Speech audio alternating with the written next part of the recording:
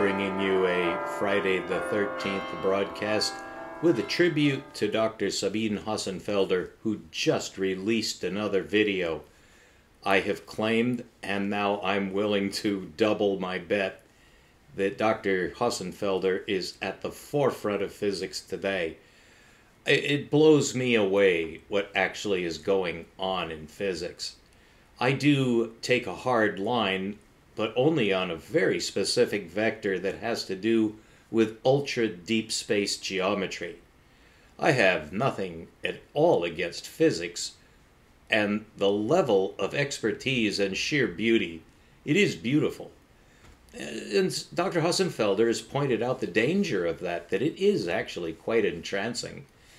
But it is important in my mind, as a geometer, exploring the truth of the universe to point out that heaven is not like earth.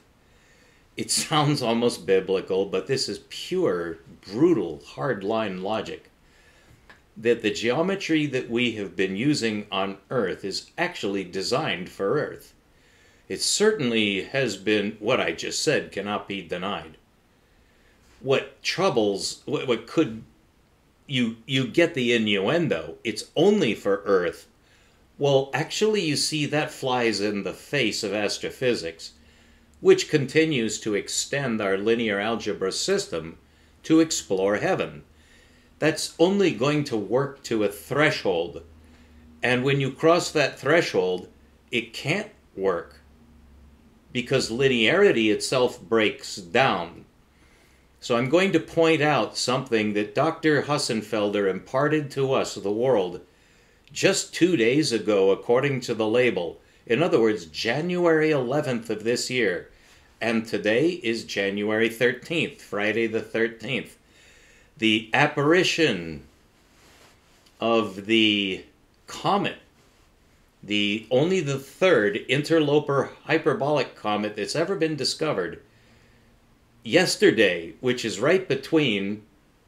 I know I'm doing astrology, I told you in the last lecture that I was going to do this. If you didn't see the last lecture, this could blow your mind, so let me slow down here. There is a comet passing by the Earth right now. That's, it's, it's the rarest thing that's ever been seen in astrophysics. Because it, there's only been three of these.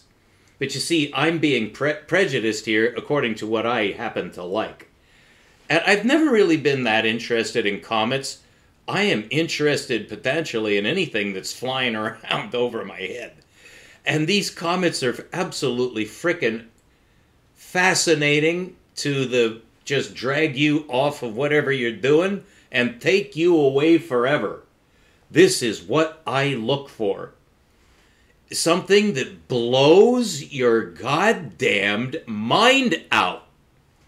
This is a comet which nobody knows what these things are. They're made of ice, water. They have water on them. It took me decades to realize that that was true, and I'm not sure how long we've absolutely known it. We know it now. We've sent probes to these things. Well, this one is an interloper. It's not Halley's comet. That's a certain type of periodic comet that one comes every like 75 years. Mark Twain has a very interesting tale that intertwines with Halley's Comet, and Halley's Comet is a comet. Those things are the subject of the deepest astrology. And there is a goddamned, pardon my French, and my apologies to the French, but this is how I was raised. It's not my fault, okay? I don't blame the French. Like, or they made up stupid things to say. Is that what we're saying? Pardon my French. I just said fuck. Oh, pardon my French. but Dr. Hossenfelder uh, produced this in this is a landmark lecture. This is going to change the course of science because of what she divulged that I can explain to you right now. Uh, she she hit the nail right on the head she's talking about special relativity. And the name of her broadcast just two days ago, right on the other side of the comet, yeah, Kepler was an astrologer, so don't look at me like, oh, why does he wear those dark glasses? He's he's a cultist. yeah, NASA. See that? I belong to that cult. The National Aeronautics and Space Administration, darling. So Dr. Hossenfelder just made science history. Together, we, we will make science history. She said it. She said what I've been saying. And this, if this doesn't blow your socks off, it's because you're not a real scientist. So this is it for everything. This is for all the cookies, all the money, all the prestige, all the power, and the fate of humanity. The next month, year, 10 years, a thousand years is going to be determined by what Dr. Hossenfelder said two days ago that I am going to explain to you. The title of this, I have allergenic eyes, is why I wear these, okay? I'm asthmatic, I'm old. So pity me and don't send me money, though, because I won't open the envelope. I'm that far gone.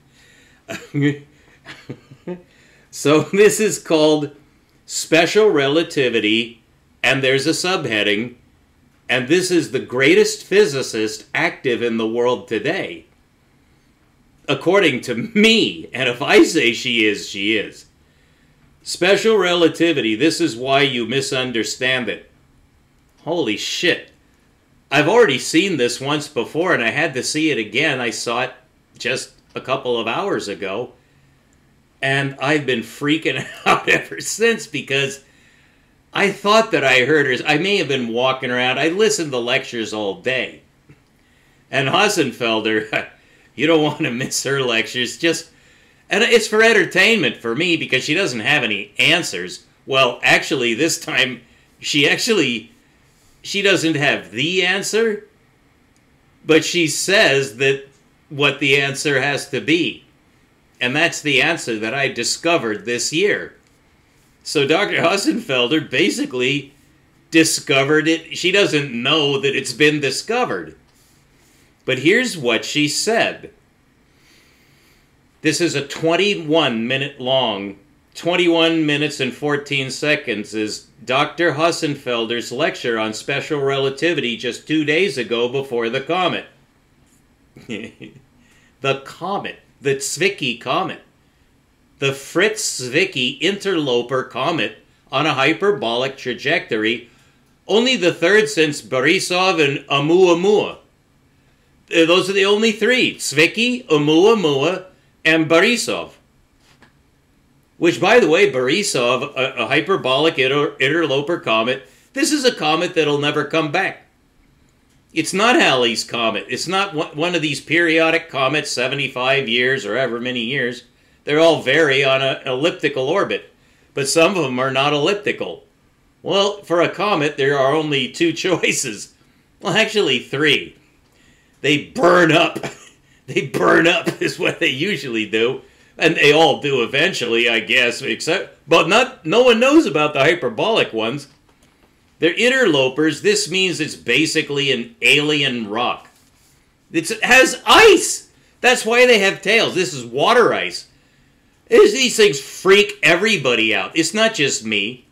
I'm just jumping on the bandwagon because I'm getting something out of it now.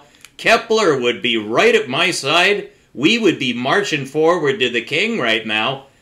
Talking about Dr. Hossenfelder in Wittenberg or Hamburg or Stockholm or wherever she lives, Frankfurt. And, and, and, and we be and we would collect ducats, we would have women, we would party forever and get our way with our telescopes. We'd be doing research. Our lives would be fulfilled. This is what's happening. And you can, you're very, very blessed. I mean, I, I'll use the religion. It's not luck. Well, I mean, yes, it's superpositional. Well, that's why we have astrology. Well, Dr. Hossenfelder is not really into astrology. I, I fear this woman, okay? If I were in her class, I would be her fucking pet, and she'd be beating me over the head with sticks just because. No, Sam, I don't think we need any humor here. You're trying to do this serious, right? I'm like, shit, fuck me. Oh, God. She'd be right every time. I'd be flipping out. I, I got to do better. Now I, I'm pathetic, you know. Oh.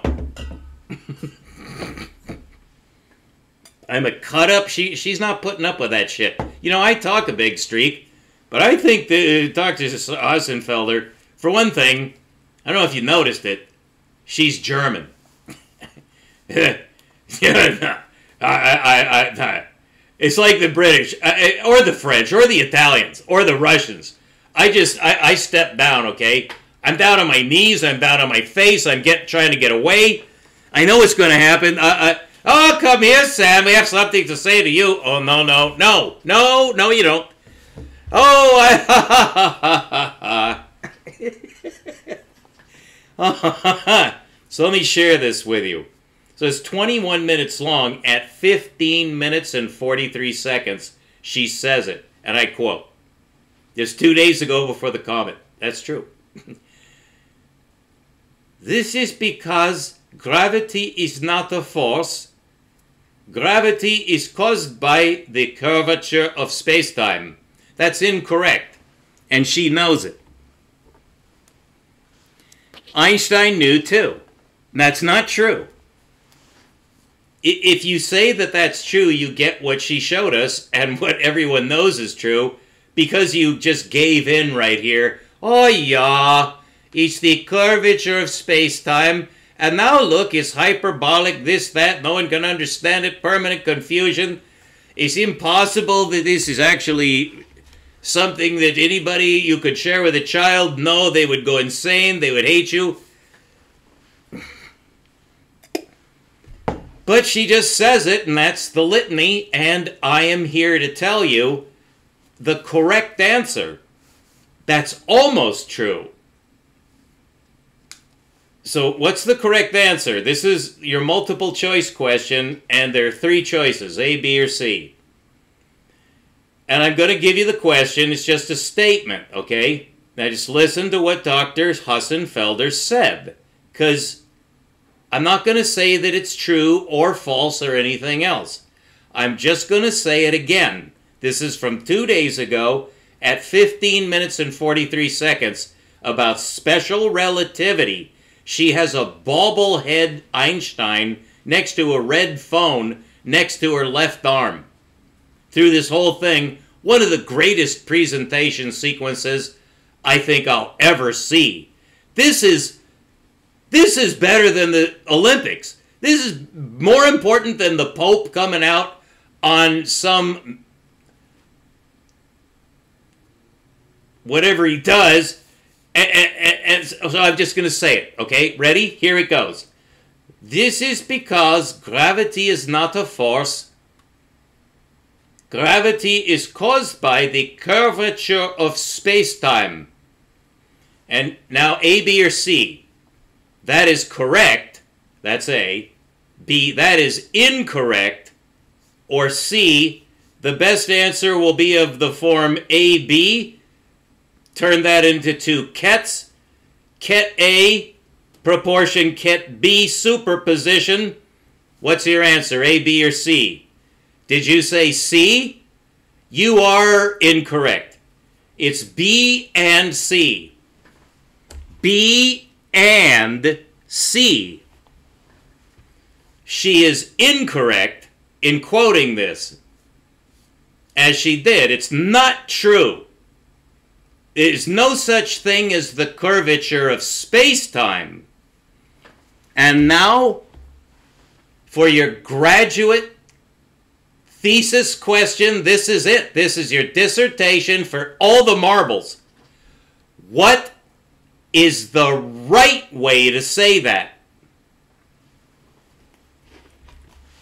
Let me give it to you again incorrectly the way Einstein said it. I, I insist that when Einstein and Sabine, only one of whom is alive, here's what I'm about to say. They will both agree and follow this. So let's see if you're as smart as Hossenfelder and Einstein, who I claim would get this wrong but then when I tell them the right answer, it's not C, it's B and C, the, they would understand instantly after I tell you what I'm about to tell you. The correct way to say that is this is because gravity is not a force because it's a pseudo force because it's due to the curvature of space and that generates a pseudo force, not a motive force. Gravity is actually caused by the curvature of space. The curvature of space, not space time. Because one of those has to be linear.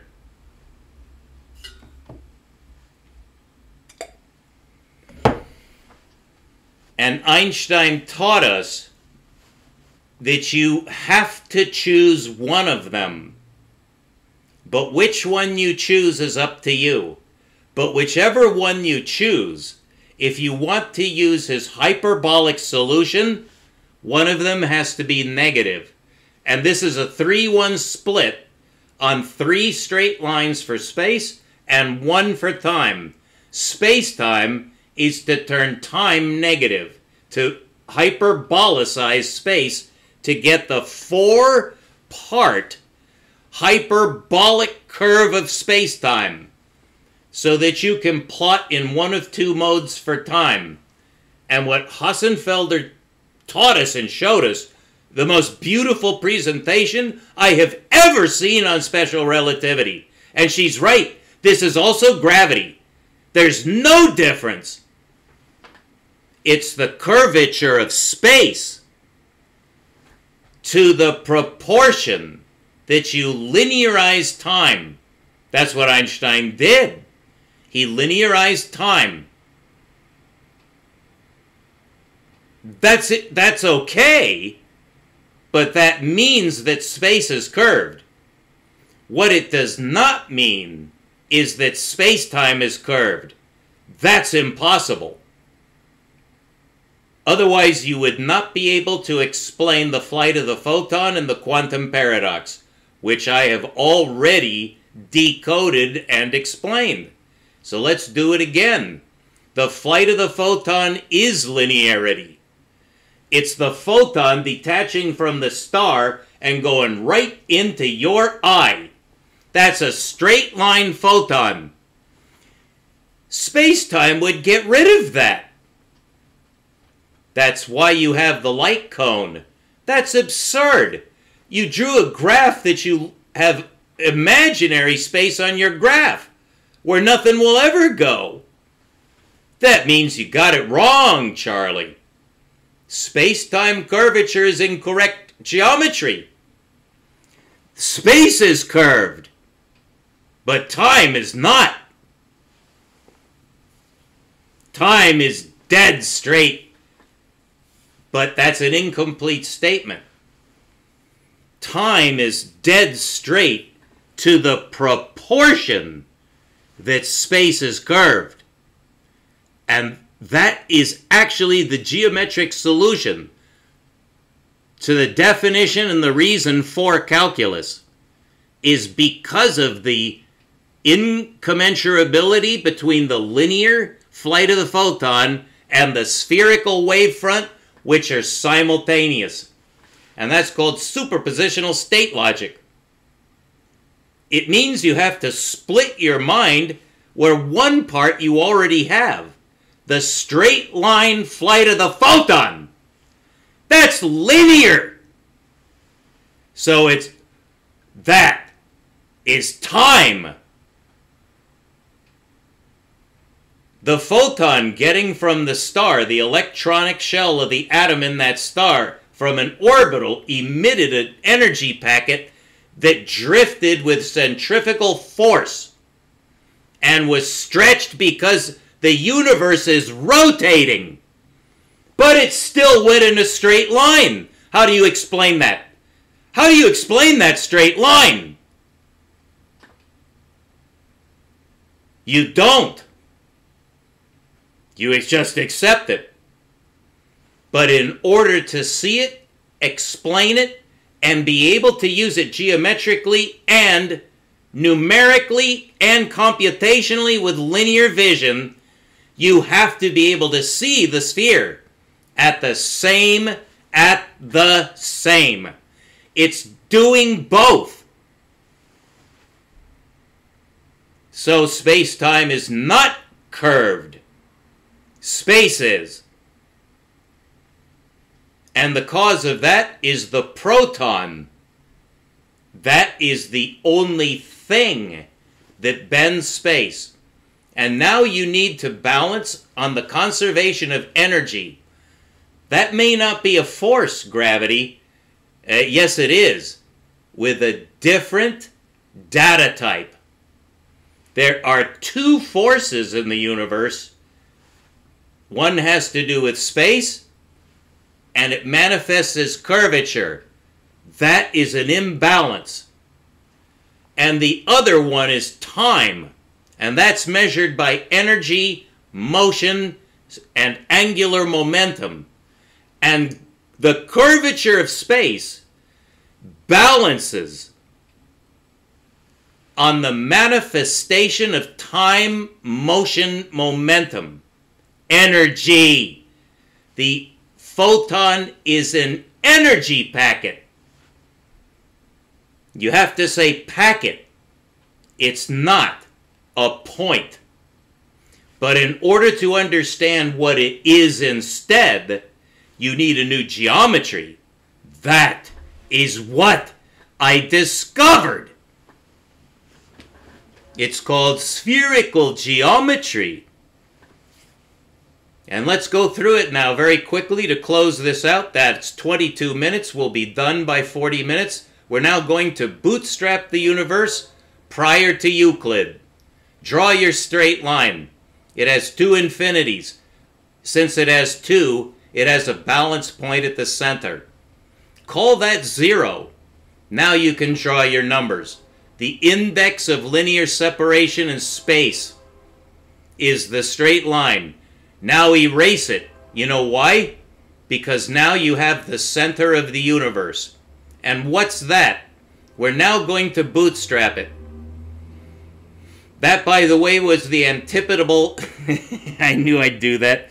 The antipodal theorem that I discovered that proves that linear space is embedded in spherical space. You see it, right? Because when you draw a line, it has two infinities. That's the definition of the diameter of a sphere. It has a center. That's the definition of add and subtract. Zero is at the center of that line. You erase the line, you scratch out the zero, and you imaginify the point. Now we're going to create the universe in multiplicative space not linear space. And this is how you do it, and this is what Euclid and Einstein could not see. You start over because you're not going to get any solutions until you have a two component number, one for time and one for space. You have to reconstruct your algebra to get time and space as two different data types. Simultaneity is the study of event space. That's how Einstein began in Switzerland. I believe it was Basel. He was studying train schedules. And across the border in France, so was Henri Poincaré. They were studying train schedules. Well, the stars are now thought to be, not stars, galaxies, are thought to be trains speeding away from each other, right? They're trains. That's where all the Gedanken experiment talk about trains. That's because it's not talking about spatial separation anymore. It's talking about event separation. The hyperbolic construction of space-time is doubly curved. That's a mistake. That's why it's hyperbolic. You don't want that. You start over with a straight line, erase it because now you have a sphere at, with a center, but it's not a point. We're not saying that. And now we start over with a number system in multiplicative space. That's multiply and divide, not add and subtract. That is isolated to the line. It's isometric with the line. But it doesn't extend to the sphere. That's multiply and divide. That's why there's no division by zero. Watch. You have a point and you have an edge. The edge is an unbounded sphere. Give it a number. Infinity. Now you have to give the other edge, the center, a number. 1 over infinity. Multiply them. It makes 1. That divides space into two parts. That is a sphere. The numbers on the inside are fractions less than 1, and the numbers on the outside are whole counting numbers. Max Planck says that is the quantum number system of the sphere. Because the numbers going in are wavelength, and the numbers going out are frequency. And you know what the lowest frequency in the universe is? Two. That's the index of multiplicative spherical space, which is redundant. You can say it either way, just as you can say linear additive space or spherical multiplicative space. They overlap. The line is embedded in the sphere. Now we need a two component number. Infinity over 1 is the edge. The center is 1 over infinity. That's called proportionality on unity. So those two numbers multiply to the sphere. You now have a finite closed universe with a coherent, rational, closed number system of linear rational numbers. And you can recover all of your linear madness. It's an infinitely irrational line, but it is embedded. The sphere has unity. It's the number one. You know what it used to be in our linear system? 2 tau. That's an irrational number. It's not irrational anymore. Einstein's curvature of space can be unitized to 1. Max Planck says that 1 is light speed. So the flight of the photon from the surface of that sphere, that sphere is an atom. It has shells of numbers going out and and parts of time on the surface. What's in the interior? The numbers are not going in. They're going perpendicular with gamma ray frequency all the way down to radio wave frequency, down to the number two. The lowest frequency the universe can ever have is frequency two, the golden oscillator.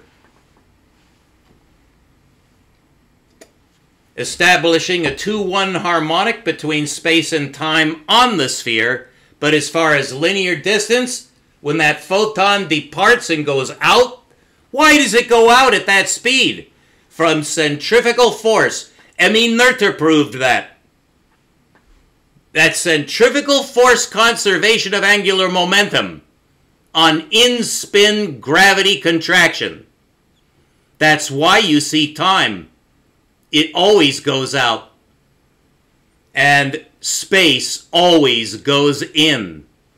The in-out axis is the only axis. It replaces the 3D axial system with one axis. Infinity to outfinity in all directions defines gravity. And it defines magnetism at the proton level. They are exactly the same phenomenon. Magnetism and gravity are the same thing. On Emmy Noether's symmetry of conservation force, on the only force that's conserved. Energy is derived from it. Every form of symmetry is derived from this one. Angular momentum. Space bends that. And energy manifests it. And that defines the electron. And that will define the photon, which is a piece of the electron that detaches and exhibits centrifugal force until it reaches your eye or telescope on a spherical wavefront that collapses against special relativity. And that's the end of special relativity. We solved it. You now have to split your mind and then synthesize space and time as perpendicular numbers. Perpendicular means reciprocal. 2 over 1 is the first frequency. Generating 1 over 2 on the sphere, that's wavelength. And that's where time is. Space expands because time escapes. So it's not space expansion. It's space-time rotation. It's not curved. It's rotating in. That has to be compensated somewhere. You can't see that. That's outspin time space. That's the definition of why you can't see the edge. Because your mind won't let you, you're seeing centrifugal force. And when you look at the universe, you're looking in because everything is being sucked in by the protons. The supermassive black hole proves that. And now for the Big Bang. You need another solution. You only got half. You now need the big event. Which came first? The big event or the Big Bang? It didn't explode. It did not explode. The universe began by being energized. It can't expand. It's finite. We just proved it, and we proved how you can see general relativity. You don't need hyperbolic inside-out space and you deafen the fuckly don't need calculus. This is the integral solution. I have already proved that. This redefines the calculus for the first time in history. The correct definition of the calculus is seen top down, not bottom up. We began with the differential. You have to begin with the integral and then figure out what the derivative is and then get the antiderivative from that not the way we've been doing it. That way you go insane. Georg Cantor proved that. You're going to encounter linear infinity. That's zero. And every other number on the line to infinity is irrational.